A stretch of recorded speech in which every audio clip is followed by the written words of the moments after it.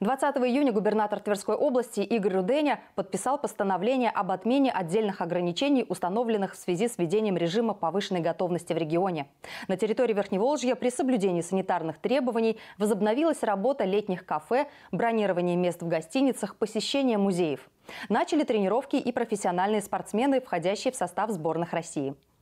Разрешено посещение музеев индивидуальными посетителями и экскурсионными группами не более пяти человек при условии обеспечения социальной дистанции не менее двух метров. Можно бронировать места и размещаться в пансионатах, домах отдыха, гостиницах, туристических базах и иных объектах загородного коттеджного типа. На территории этих объектов не будут проводиться массовые мероприятия, а услуги общественного питания должны оказываться исключительно в номерах. Возобновлена также деятельность ресторанов, кафе, баров и других предприятий общественного питания. Открытие возможно при условии соблюдения санитарных требований. Все сотрудники будут проходить ежедневную термометрию, а также пользоваться средствами индивидуальной защиты.